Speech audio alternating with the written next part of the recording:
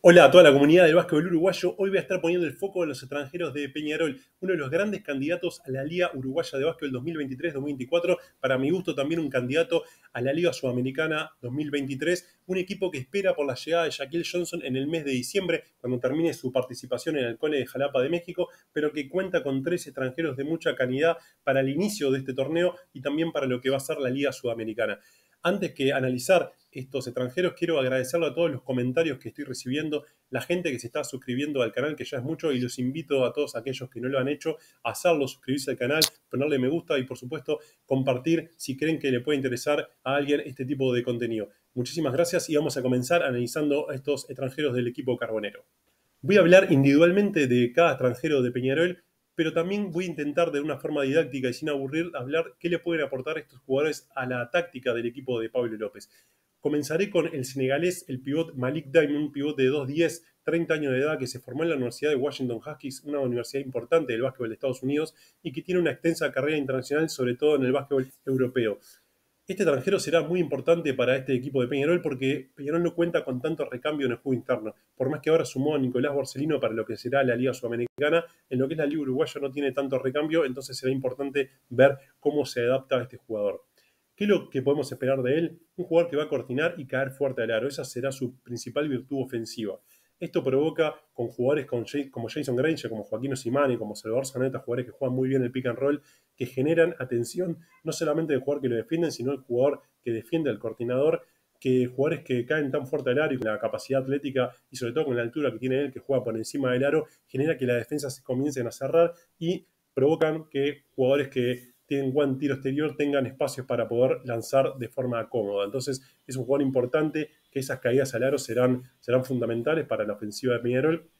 También lo que pueden hacer en las esquinas cortas, jugando escondidos en las líneas finales, para los rompimientos y los uno contra uno de, otros jugadores y que provocan que los jugadores internos que defienden, lo defienden a él tengan que hacer ayudas más cortas, porque una ayuda larga provocará que este jugador esté escondido y pueda volcar pelotas fácilmente. Entonces, eso va a hacer que sea más difícil y que genere más espacio para estas uno contra uno de los jugadores agresivos que tiene Peñarol en esa situación. Ofensivamente, ¿qué más podemos esperar? Yo creo que no mucho más. Un jugador que sí va a cargar el rebote, que vamos a ver cargando el rebote y volcándola con facilidad porque lo puede hacer. También en transiciones ofensivas va a caer fuerte al aro y va a hacerlo de forma rápida porque tiene la velocidad y el atleticismo para hacerlo, pero no es un clásico interno que le ponga la pelota en el poste bajo y que pueda jugar a partir de ahí. No tiene grandes movimientos, no tiene la fuerza para hacerlo, no tiene el recorrido internacional no lo ha hecho de esa manera, entonces no creo que lo veamos en la Liga Uruguaya haciéndolo, pero sí tiene esa característica. Y defensivamente es su gran capacidad, su gran eh, talento, porque es un jugador que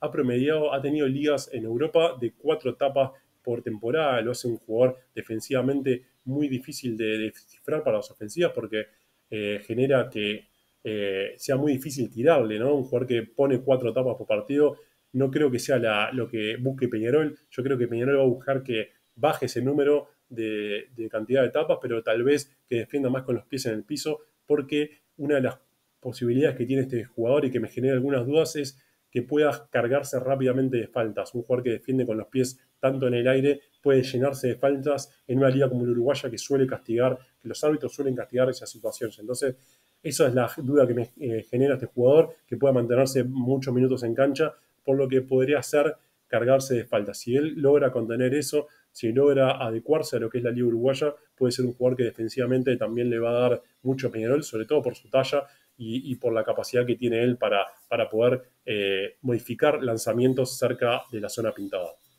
El ala pivot que presenta este equipo de Peñarol será Eric Griffin, un jugador con una carrera internacional importante, 33 años, nacido en Orlando, que participó varias veces de la Summer League de la NBA un jugador que va a ser muy importante para el andamiaje de este equipo carbonero porque es el único ala pivot clásico que tendrá el equipo de Pablo López. Obviamente que Emiliano Serrés lo puede hacer también en esa posición, pero es más un alero convertido en cuatro por la necesidad que tendrá el equipo de Peñarol. Y este jugador Griffin es un jugador que también lo puede hacer en el simple y será seguramente el recambio natural del senegalés Dime en esa posición. Entonces un jugador que creo que calza bien para lo que es la necesidad de este equipo de Peñarol, un jugador que puede jugar de cuatro, que puede jugar de cinco y que será, como decía, muy importante por estas cualidades que él tiene. ¿Qué podemos esperar de este jugador Griffin? Bueno, va a ser un 4 abierto. yo le pongo un paralelismo con lo que puede ser Víctor Ruden Aguada, tal vez no un jugador tan talentoso, pero sí muy fuerte, que puede atacar ambos perfiles, que puede jugar también posteado, que tiene la capacidad de tirar, tal vez ese va a ser su punto, su asterisco y su signo de interrogación, porque es un jugador que ha tirado en temporadas 35%, 38% y otras temporadas por abajo del 20%, entonces esa capacidad de tiro que él tiene, que lo puede hacer, va a ser importante saber en esta liga cómo puede rendir y si él creo que le aporta un, arriba un 30% en su tiro de tres puntos, creo que va a ser una, un arma muy importante para Peñarol y una amenaza importante que va a tener, porque es un jugador que puede abrir, que puede jugar abierto en la esquina, que puede jugar con la pelota en la mano. Eh, entonces creo que le va a dar la capacidad a este Peñarol de, de abrir la las defensas y con los jugadores que tiene, como decíamos, ¿no? con la caída del área de Dave, con Granger atacando el uno contra uno, con, con Xavier, con Osimani, creo que si este jugador le aporta eso también de jugar abierto, de atacar, de ser una amenaza con el uno contra uno, este Peñarol tendrá muchas más herramientas ofensivas. Como decíamos, un jugador que tal vez le va a dar la, lo que no tiene este Peñarol en, en, el extranjero, en el pivot, que puede jugar posteado. Y eso es una característica que le da a este Peñarol más herramientas ofensivas porque puede descomprimir un poco la, la ofensiva de, del equipo carbonero. Y como decíamos, defensivamente es muy fuerte, puede defender un pivot tal vez fuerte que, pueda presentar el, equipo rival y, que bueno, que le va a dar la, posibilidad a Peñarol de ser un equipo tal vez más ágil con la presencia de él como, como interno y con Cerrés de 4. Creo que ahí Peñarol puede abrir mucho más la cancha, ser más agresivo en los uno contra uno. Entonces, esa capacidad que tiene Griffin de jugar tanto abierto como, como en el juego interno le da a este Peñarol más herramientas ofensivas y creo que si las aprovecha y si este jugador eh, logra adaptarse a, este equipo de Carbonero, a este equipo de, de, Pablo López, puede aportarle muchísimo, tanto ofensiva como defensivamente. El signo de interrogación pasa por eso, ¿no? Su capacidad de tiro, qué, qué, eficiencia pueda llegar a tener y cómo se adapta a nuestra liga. Pero sin duda que es un jugador que con, la, con los pergaminos que trae puede, puede llegar a ser una de las figuras de este torneo y, por qué no, uno de los extranjeros más importantes que presente este equipo de Peñarol 2023-2024.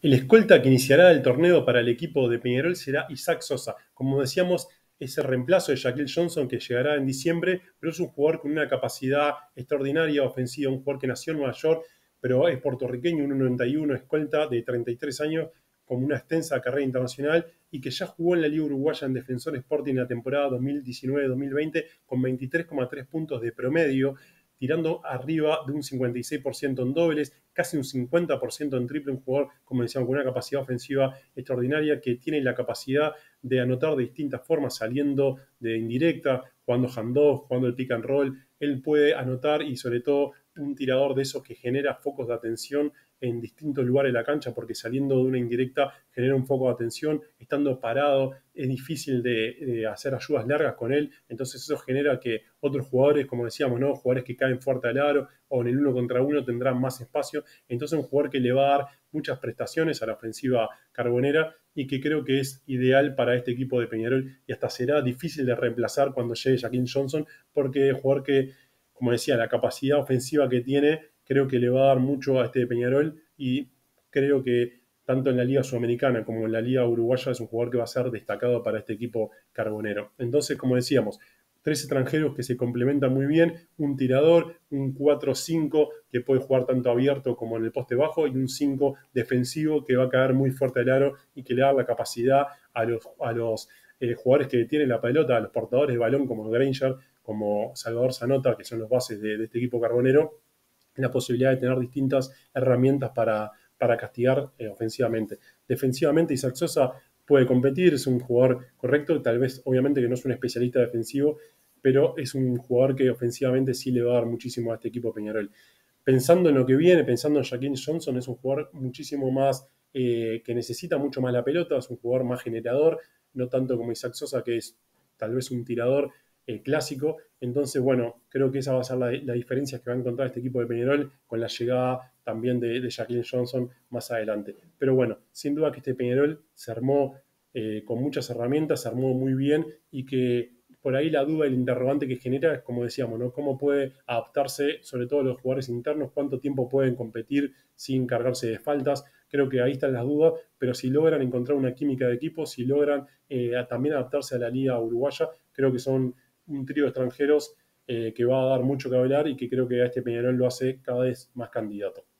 Así que bueno, esto, esto es todo. Creo que por lo menos es un gran pantallazo para lo que podamos ver. Obviamente que después la cancha va a velar, pero creo que Peñarol se arma muy bien y podemos encontrar tres extranjeros de, de gran calidad en el equipo carbonero. Como siempre le digo, si le gustó este tipo de contenido, darle me gusta, compartirlo y suscribirse al canal, que de esa manera me ayuda muchísimo. Así que será hasta la próxima.